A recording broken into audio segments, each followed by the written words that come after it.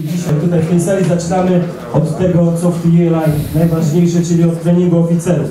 Pozwólcie, że przedstawię Wam osoby, które będą prowadzić ten trening.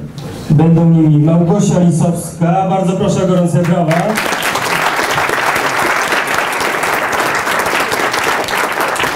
Monika Kowalka-Sternacka. Pokaż się,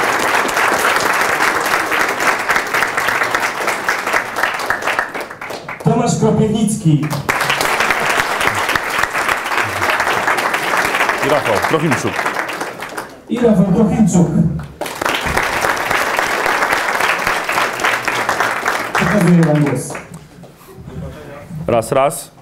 Chyba nie będzie mi do końca potrzebny ten mikrofon. Pamiętajmy, że słowem kluczem jest dyscyplina. I my będziemy starali się jej pilnować. Więc zanim Was do końca przywitamy, mam jedno fundamentalne pytanie. Poproszę o podniesienie rąk osoby, które nie pełnią teraz aktualnej funkcji w zarządzie. Nie pełnią. No dobrze. Dyscyplina. To dyscyplina.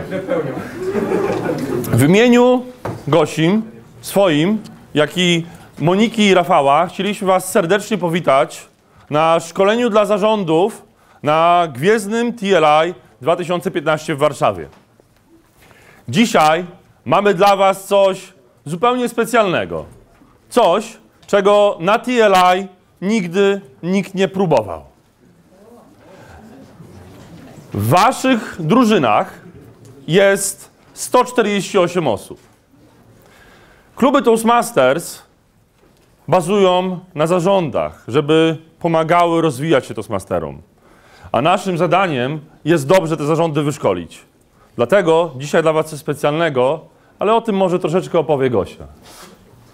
Toastmasterzy, to dla Was jest TLI. To dla Was, członków zarządu, jest te wydarzenie. Jesteście tutaj szczególnymi gośćmi na tym wydarzeniu. Jak wiecie, co semestr szkolimy się ze swoich funkcji. Jest to bardzo ważne. Ale jak też większość z Was ma świadomość, dwa słowa robią niesamowitą furorę na rynku. Jest to kreatywność i innowacja. Dwa słowa klucze, które my zdecydowaliśmy się też wykorzystać w trakcie TLI.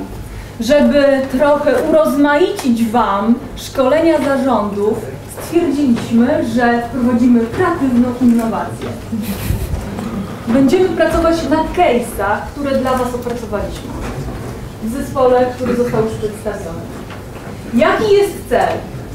Celem tego spotkania jest przede wszystkim to, aby wzmacniać wartości Toastmasters, abyście się integrowali, ponieważ będziecie pracować w zespołach osób, nie znając się wcześniej, prawdopodobnie.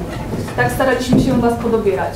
Chodzi o to, aby wzmacniać networking, abyście po- porozumiewali się między sobą, między klubami, między podziałami i wymieniali się swoimi doświadczeniami.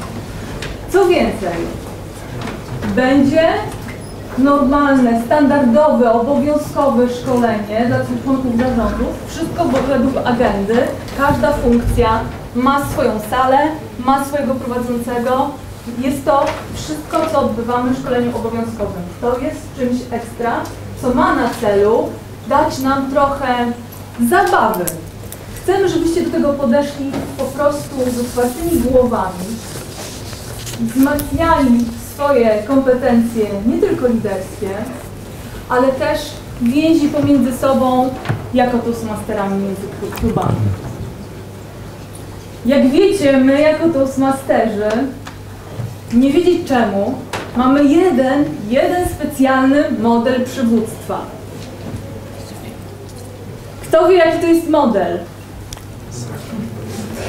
On się pięknie nazywa. Jest to model służebny. To wy. To wy zarządy nadajecie rytm i pracę swoim klubom. Więc case'y, nad którymi będziecie pracować, owszem, wiążą się z kompetencjami twardymi, których się uczymy, ale przede wszystkim to ludzie.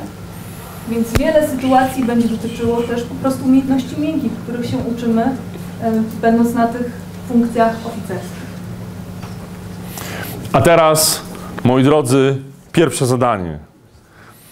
Bardzo skomplikowane, bo będzie wymagać aktywności fizycznej i wyjścia z tej sali. moi drodzy, żebyście mogli efektywnie pracować w zespołach, nastąpi co, co powiem. Będziecie tutaj wrót wracać o 10.35. Zapamiętajcie tą godzinę? 10.35 widzimy się tutaj z powrotem. Ale, ale, ale chwila, nie wychodzimy tak po prostu, tylko wychodzimy za swoimi prowadzącymi. Więc chciałbym serdecznie poprosić Monikę i zapraszam wszystkie grupy ZEM za Moniką.